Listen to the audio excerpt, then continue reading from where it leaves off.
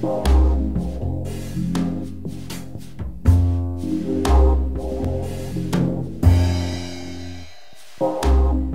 σας λοιπόν παιδιά μου και πάλι. Στο βίντεο λοιπόν αυτό θα αρχίσουμε να μελετάμε τις ενέργειες, την θερμότητα, την εσωτερική ενέργεια και το έργο.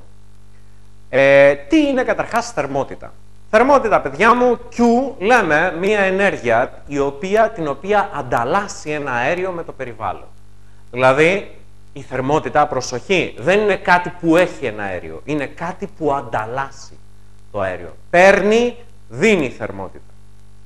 Θυμηθείτε και ένα διάγραμμα που θα σας κάνω εδώ, ότι αν έχουμε δηλαδή ένα αέριο, θερμότητα είναι αυτή η ποσότητα ενέργειας Q, την οποία ανταλλάσσει με το περιβάλλον.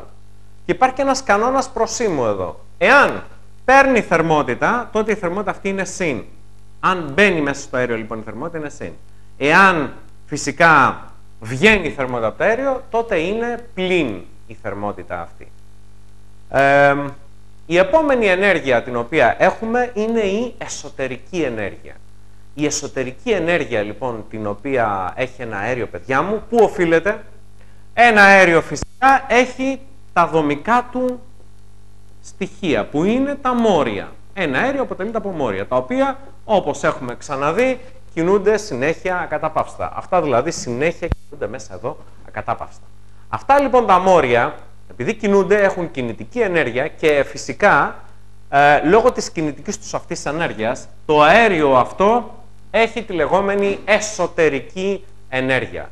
Εσωτερική λοιπόν ενέργεια είναι ου ίσον το σύνολο των κινητικών ενεργειών όλων των μόριων. Είναι νη, μόρια, επί ε κάπα μέση κινητική ενέργεια που έχει το καθένα. Ε, όμως, η κινητική, μέση κινητική ενέργεια του κάθε μορίου, όπως έχουμε δει, είναι 3 δεύτερα κάπα ταφ. Το έχουμε δει από το προηγούμενο κεφάλαιο, από την κινητική θεωρία. Ε, άρα, πώς τη γράφουμε αυτήν, παιδιά μου, 3 δεύτερα νη κάπα ταφ όπου νη είναι το πλήθος των μορίων, κάπα είναι η σταθερά του Μπότσμαν και τάφ είναι η θερμοκρασία.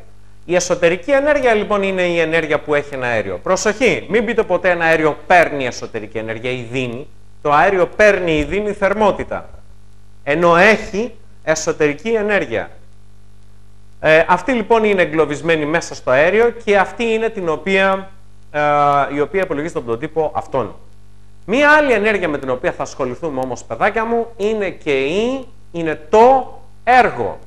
Έργο λοιπόν είναι μία μορφή ενέργειας που επίσης ανταλλάσσει το αέριο με το περιβάλλον και αυτό το έργο το παράγει είτε το περιβάλλον στο αέριο, είτε το δίνει το περιβάλλον στο αέριο, οπότε είναι πλην, είναι αρνητικό, είτε το αέριο το δίνει στο περιβάλλον, το προσφέρει και το παράγει στο περιβάλλον, οπότε το έργο είναι συν.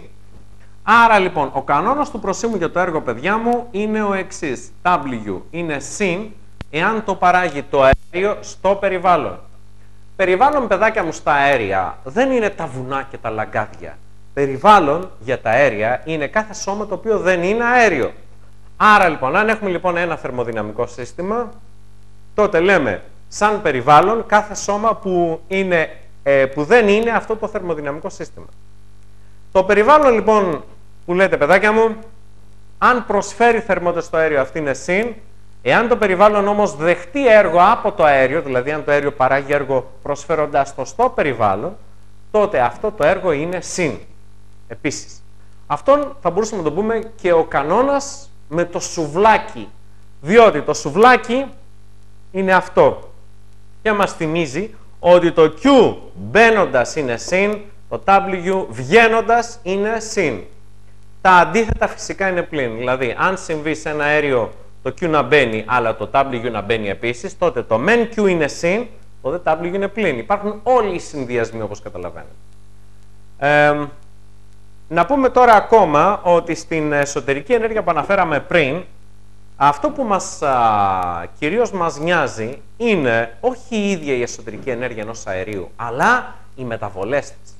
Αν λοιπόν ένα αέριο έχει εσωτερική ενέργεια U ίσον 3 δεύτερα νη κάπατε, θα είναι η μεταβολή της ρε παιδιά. Η μεταβολή της U θα είναι δέλτα του πιανού. Δέλτα U θα είναι δέλτα του 3 δεύτερα νη κάπα τάφ.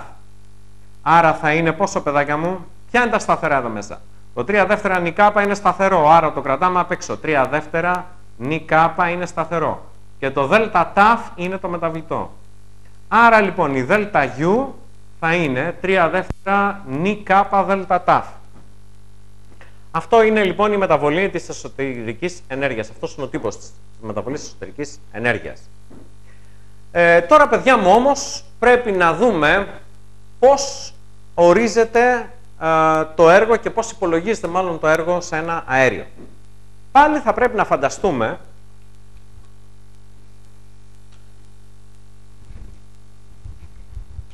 Να φανταστούμε λοιπόν παιδιά μου έναν κύλινδρο σαν και αυτόν που σας είπα πριν και το έμβολο για το οποίο μιλήσαμε. Αν αυτός ο κύλινδρος, αν αυτό το έμβολο συμπιέσει πες το αέριο και συμπιεστεί και φτάσει, συμπιέζοντάς το μετακινηθεί και φτάσει εκεί, τότε θα μετακινηθεί κατά δέλτα χ. Τότε το περιβάλλον, ξέρετε τι έχει κάνει, έχει ασκήσει μια δύναμη F και έχει μετακινήσει το αέριο κατά δέλτα χ. Εάν συμβεί το ανάποδο, εάν το αέριο σπρώξει το αέριο, το έμβολο προς τα έξω, αν ασκήσει λέει, το αέριο μια δύναμη F και μετακινήσει το έμβολο κατά δέλτα χ, τότε θα παράγει ένα στοιχειώδες έργο ΔW που θα είναι F επί ΔΧ. Διότι σύμφωνα με τον ορισμό του έργου, το έργο είναι δύναμη επί μετατόπιση. Στην περίπτωση λοιπόν αυτή που το αέριο, το αέριο βρίσκεται εδώ μέσα φυσικά, ε; Εκείνη το αέριο. Το αέριο λοιπόν πιέζει το έμβολο, ασκεί μια δύναμη F, το μετακινεί κατά ΔΧ και παράγει ένα στοιχειώδες έργο ΔW ίσον F επί ΔΧ.